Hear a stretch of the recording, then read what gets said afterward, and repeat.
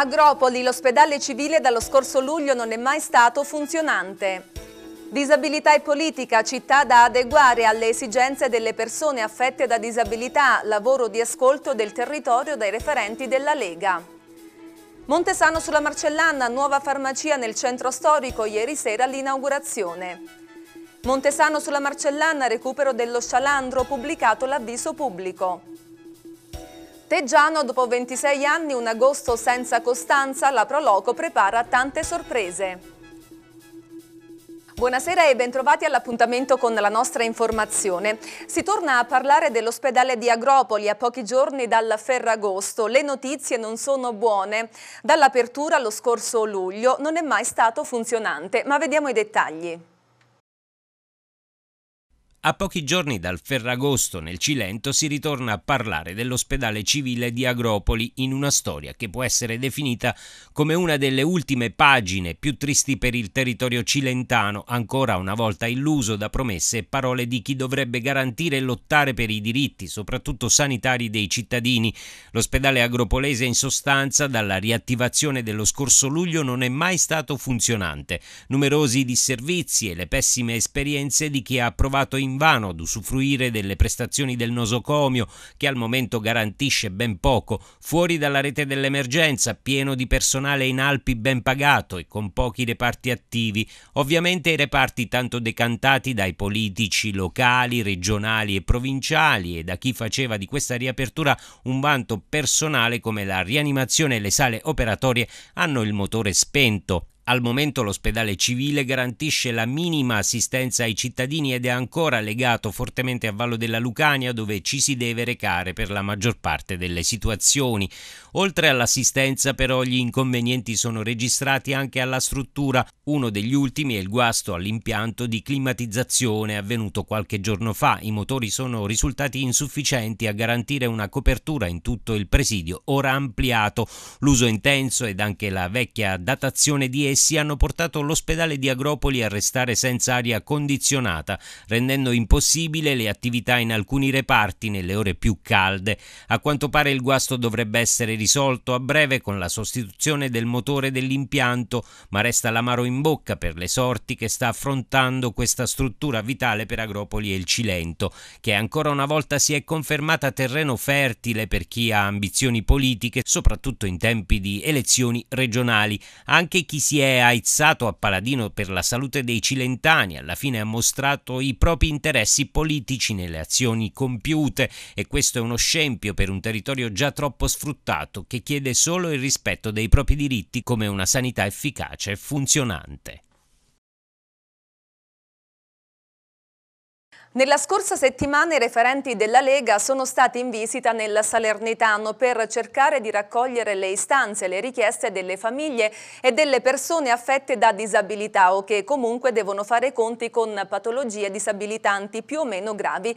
L'ex ministro per la famiglia e per le disabilità, l'onorevole Alessandra Locatelli e il coordinatore provinciale della Lega, Nicolas Esposito, la scorsa settimana hanno incontrato i referenti delle associazioni che supportano riguardano le famiglie di persone affette da patologie limitanti delle disabilità personali e hanno anche avuto modo di visitare il territorio salernitano e conoscere gli aspetti e le aree che si rivelano inaccettabili alle persone affette da disabilità. Fase di ascolto e di conoscenza del territorio salernitano che ha portato a comprendere come, seppur tanto è stato fatto, c'è ancora però tanto da fare per poter perseguire un obiettivo di abbattimento delle barriere architettoniche. Vediamo. C'è tanto da fare in tutta Italia eh, sul tema dell'accessibilità e della disabilità. Certo è che la Campania è un territorio bellissimo, si poteva fare già qualcosa in più, almeno per adeguare qualche struttura, adeguare qualche città, perché fosse più a misura di persone e non rimanessero segregate in casa. E speriamo di cogliere questa occasione, che sia l'occasione giusta per rendere giustizia a una terra meravigliosa e a cittadini che sinceramente hanno un entusiasmo che io faccio fatica magari a volte volte a trovare in tutti e che deve essere eh, valorizzato per il futuro. La Lega è un partito, non è né di destra né di sinistra, è un partito di territorio e essere di territorio significa ascoltare quelle che sono le persone. Matteo Salvini ci ha dato sempre un grande indirizzo che è quello di ascoltare le persone e quando è stato al governo le cinque cose che aveva promesso, cinque cose ha fatto. Ascoltare le persone e fare proposta, questo significa fare politica per noi. L'auspicio per queste regionali? L'auspicio per queste regionali è sicuramente ottimo. Finalmente sta calando giù la maschera di De Luca, abbiamo visto quello che ha combinato durante il coronavirus, 18 milioni di euro spesi quasi inutilmente perché gli ospedali anti-Covid manca il collaudo e non possono partire. Diciamo che la magistratura deve fare il suo corso, però abbiamo visto che la gestione De Luca, come sempre, è pessima. A pochi giorni dalla presentazione delle liste per le prossime elezioni amministrative per il rinnovo dei consigli comunali arrivano le dimissioni di un consigliere comunale di Pertosa, comune chiamato alle urne il prossimo 20 e 21 settembre. Si tratta del consigliere Vito Panzella che nelle scorse ore ha presentato la lettera di dimissioni. Secondo quanto emerge pare che la decisione non sia arrivata per divergenze all'interno del gruppo di maggioranza ma per una scelta derivante anche dalla sua vita vita che lo vede legato alla città di Polla dove vive e lavora. A tal proposito pare siano emerse notizie che lo vorrebbero candidato tra le fila di una delle liste in campo a Polla per il rinnovo del Consiglio Comunale. Elezioni rese necessarie a seguito del decesso del sindaco in carica Rocco Giuliano. Pare che a Vito Panzella sia stata richiesta la sua candidatura. Ciò avrebbe quindi reso necessario le dimissioni di consigliere a Pertosa dato che ricoprendo tale ruolo non avrebbe potuto partecipare alla competizione elettorale in un comune diverso da quello dove ricopre appunto questo ruolo.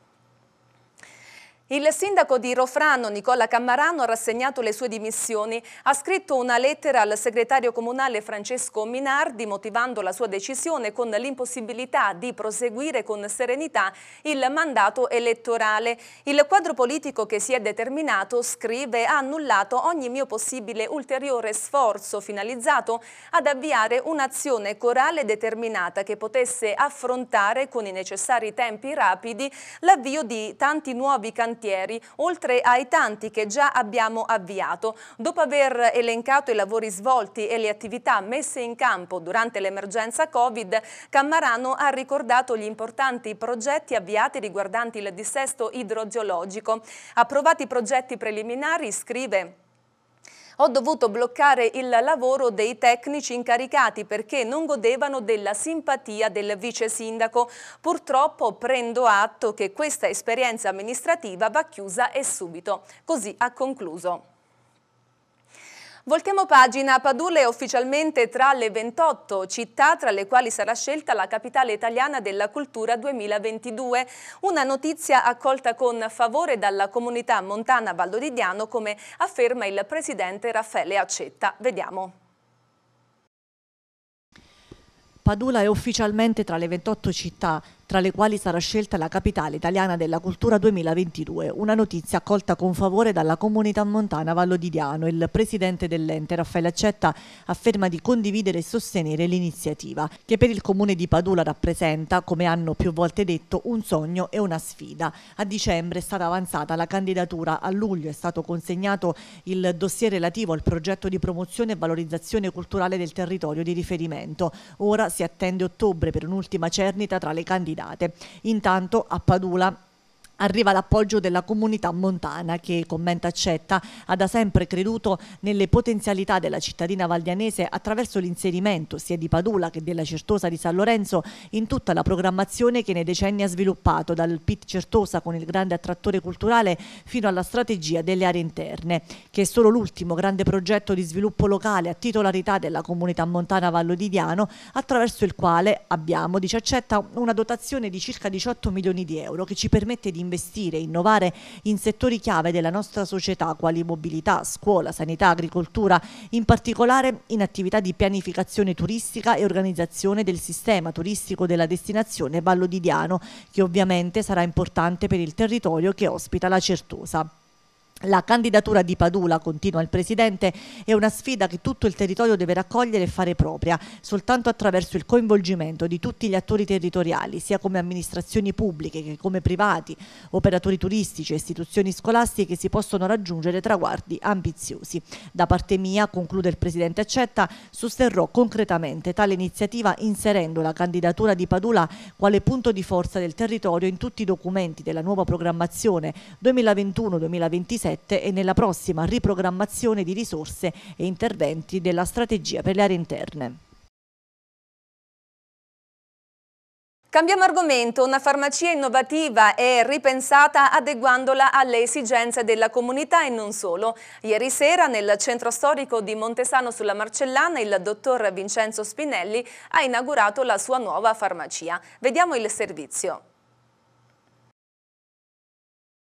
Ieri sera a Montesano sulla Marcellana il dottor Vincenzo Spinelli ha inaugurato, in un momento di festa e convivialità, la sua innovativa farmacia, dando il via ad un percorso che vedrà la figura del farmacista rivestire un ruolo nuovo all'interno della comunità, come ha spiegato lo stesso dottor Spinelli. Qui potranno trovare dei professionisti, delle persone serie, valide, eh, che mettono al primo posto la salute del cittadino eh, ed ecco come penso io la farmacia non deve essere soltanto un luogo dove entrare, comprare il farmaco ed uscire, ma anche un luogo dove entrare e raccontare un proprio problema e trovare un'assistenza anche morale da parte del farmacista un amico, un confidente, prima che un consulente sanitario. Ecco come il dottor Spinelli interpreta il suo ruolo all'interno della comunità e per far sì che questa immagine venga ben percepita dai suoi clienti ha previsto per loro una serie di servizi innovativi e che peraltro consentiranno anche di portare a Montesano un nuovo flusso di persone. Obiettivo garantire il benessere fisico e mentale della persona e venire anche incontro alle esigenze di chi ha difficoltà a spostarsi. Negli anni la farmacia si è evoluta tantissimo eh, ed è in evoluzione di anno in anno. Si è parlato da tempo di farmacia dei servizi, eh, ma spesso non si usufruisce dei giusti servizi. Ecco, per me la farmacia deve essere il primo presidio medico-sanitario. Nei nostri paesi, soprattutto dove i cittadini sono distanti da ospedali, da pronto soccorsi, quindi il farmacista insieme al medico di base eh, con cui deve collaborare assolutamente praticamente quotidianamente, è proprio una figura fondamentale per il cittadino. Quindi per me la farmacia è sinonimo non solo di salute legata sia al farmaco, ma di salute anche legata al benessere, sia fisico ma anche e soprattutto mentale. Infatti non so se hai notato all'ingresso della mia farmacia c'è un, un biobar, qualcosa di nuovo in, in queste zone, eh, dove eh, noi faremo provare i nostri prodotti biologici, le nostre tisane, eh, i nostri drenanti, soprattutto per questo periodo estivo, eh, io sono specializzato in omeopatia, in fitoterapia, in cui credo tantissimo, quindi prima di andare, eh, ecco, di catapultarci nel mondo dei farmaci, io spero di mh, coinvolgere il paziente prima in un altro percorso, percorso basato sui, sui sulle piante, sui fitoterapici, quindi parliamo di effetti collaterali zero e per me questo, ecco, questo deve essere il ruolo del farmacista in un, in, nel nostro territorio. Già trovare eh, nella farmacia farmacia sotto casa, eh, operatori del benessere, eh, trovare eh, una persona, un professionista che può fare delle analisi del sangue, delle urine eh, in 5, con i referti in 5 minuti. Eh, ecco, io un, farò un tipo di elettrocardiogramma eh, innovativo, si parla di un elettrocardiografo con tre elettrodi dove io posso andare, recarmi anche a casa del paziente che non può muoversi, fargli farglielo e oggi si parla di telemedicina, con la telemedicina in 30 minuti, massimo un'ora, uno specialista, un cardiologo ti dà il referto. Tantissime le presenze ieri sera per l'inaugurazione a cui ha preso parte anche il sindaco Giuseppe Rinaldi che per l'occasione ha ringraziato anche la precedente farmacista dottoressa Amato ed ha soprattutto voluto elogiare il lavoro del dottor Spinelli e ringraziarlo per aver voluto investire e puntare con la sua farmacia innovativa proprio su Montesano sulla Marcellana. Cambiamo argomento, oltre la metà dei negozi della Campania resterà aperta a Ferragosto, lo afferma uno studio di Confesercenti Campania. I dettagli. Oltre la metà delle aziende della Campania, il 52% nei settori di abbigliamento, ristorazione, bar, supermercati e parrucchieri resterà aperta a Ferragosto, è quanto emerge da uno studio di Confesercenti Campania, secondo cui rispetto allo scorso anno non possono permettersi di andare in vacanza ad agosto il 9% in più dei negozi di abbigliamento, il 17% in più nella ristorazione e il 21% in più nei bar. La crisi è assoluta, afferma il presidente di Confesercenti Campania Vincenzo Schiavo e molti imprenditori della campagna non possono permettersi le ferie, magari mandano anche i propri dipendenti in vacanza, ma sacrificano se stessi per tentare di recuperare l'enorme vuoto provocato dal lockdown. Il dato di apertura a oltranza delle attività commerciali ovviamente diminuisce sensibilmente nelle zone a minor vocazione turistica, ma in generale il 52% di apertura senza ferie è emblematico. Nel giorno di Ferragosto, ad esempio, il 66% delle attività attività di ristorazione e il 10% dei negozi di abbigliamento resterà aperto in campagna. Si prospetta però, secondo Confesercenti, una seconda parte del mese di agosto più confortante per le aziende del settore turistico, anche per via dei provvedimenti contenuti nel decreto di agosto, tra cui la sospensione dei mutui, la cancellazione dell'IMU per gli albergatori, il sostegno alle agenzie di viaggio e alle guide turistiche. Sono state ottenute inoltre, conclude Schiavo, grandi opportunità a fondo perduto perduto, è necessario ora che le aziende sfruttino queste chance, riscrivendo insieme la nuova visione del turismo in un sistema globale che è cambiato. Ora ci fermiamo per un po' di pubblicità, ci ritroviamo tra poco. Bentornati in studio, proseguiamo con il nostro telegiornale. Pubblicato un avviso per l'acquisizione di manifestazioni di interesse per il recupero e la valorizzazione del complesso immobiliare Scialandro a Montesano sulla Marcellana. Vediamo. Il comune di Montesano sulla Marcellana ha pubblicato un avviso per l'attivazione di una indagine esplorativa finalizzata all'acquisizione di manifestazioni di interesse contenenti soluzioni tecnico-gestionali per il recupero e valorizzazione del complesso immobiliare Scialandro situato nell'omonima località di Montesano.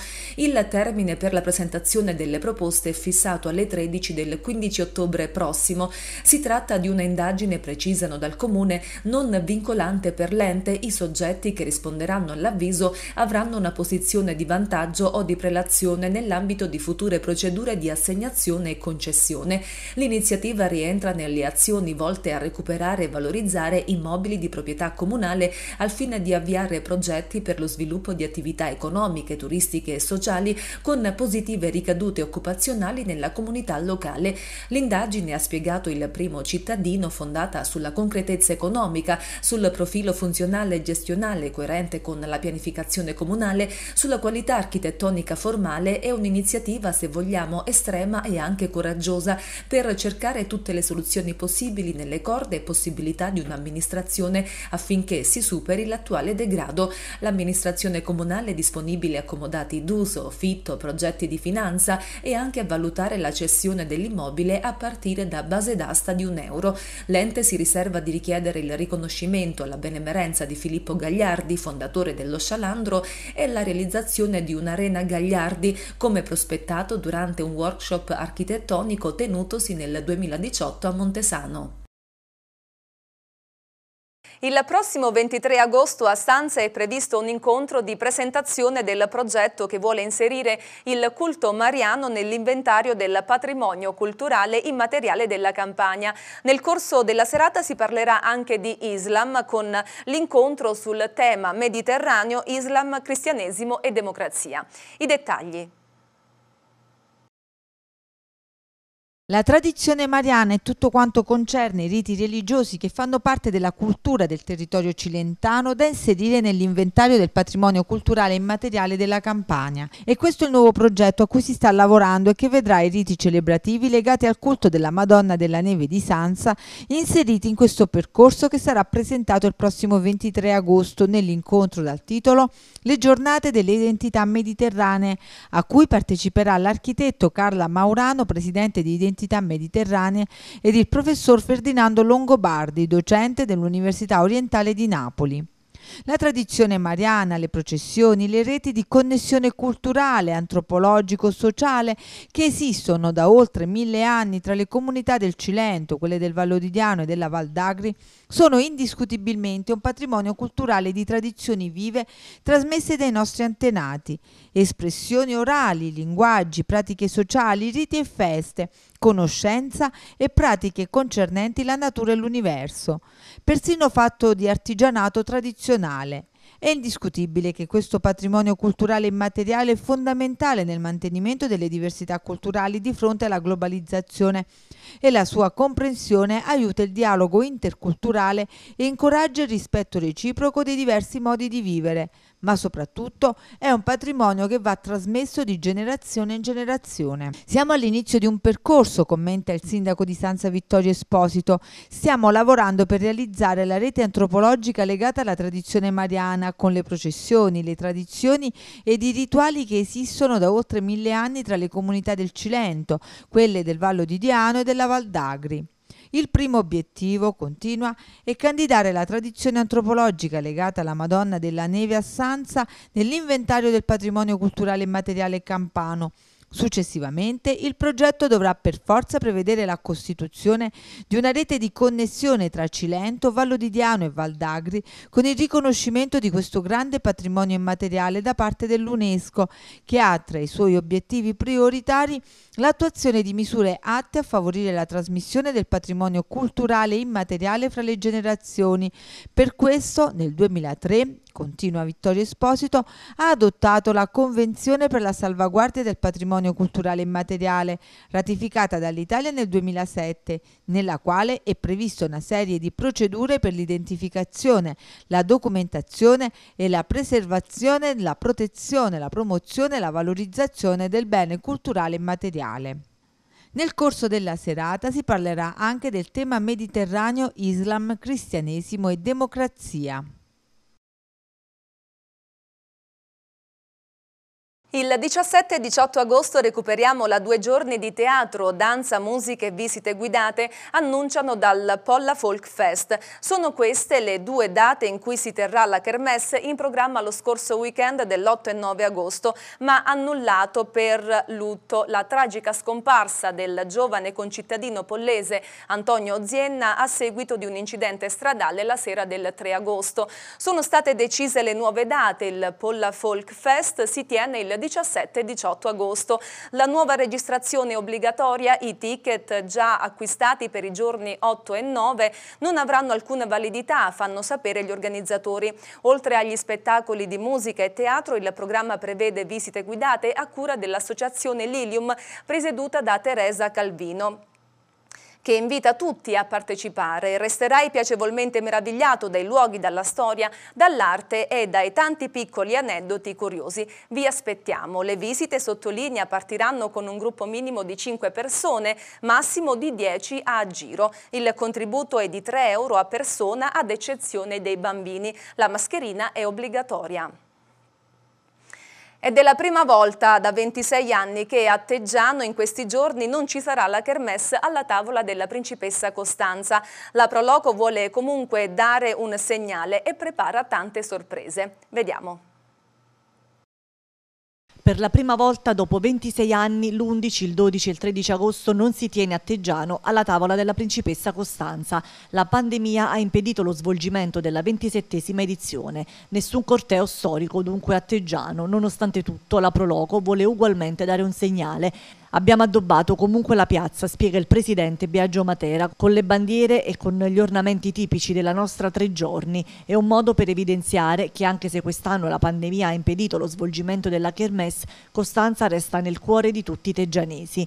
In questo contesto rientra anche l'altra iniziativa organizzata a Teggiano presso il chiostro di San Francisco.